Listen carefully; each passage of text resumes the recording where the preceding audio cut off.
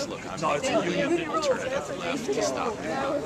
If he's in a consultant, you know, I guess this is going to be a while for hours because you have this interview with the ex-wife. It's, you know, it's going to be, it's, it, like I said, it's going to be a long ride to finish.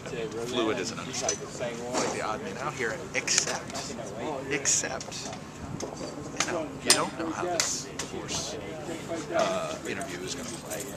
And would Romney benefit, or is it Santorum that's going to benefit? Particularly if this really turns off evangelical, particularly we're seeing in our own polls, evangelical women are not, have already not been able to jump on the Newt bandwagon.